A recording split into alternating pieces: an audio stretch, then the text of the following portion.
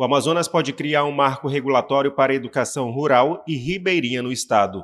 O objetivo é fortalecer o projeto Escolas da Floresta, que promove sustentabilidade socioambiental em unidades de conservação.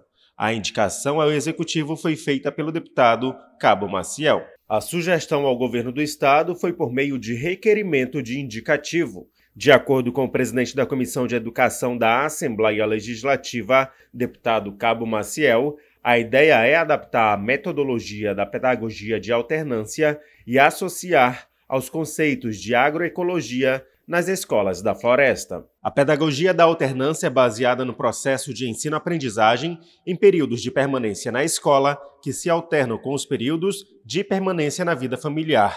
Com o marco regulatório para educação rural e ribeirinha, essa prática seria adaptada para a realidade amazônica. O projeto Escola da Floresta é executado em conjunto pelas Secretarias de Estado de Educação e de Meio Ambiente. O programa promove a sustentabilidade socioambiental. A primeira unidade de ensino é construída na Reserva de Desenvolvimento Sustentável do Atumã, no município de São Sebastião do Atumã.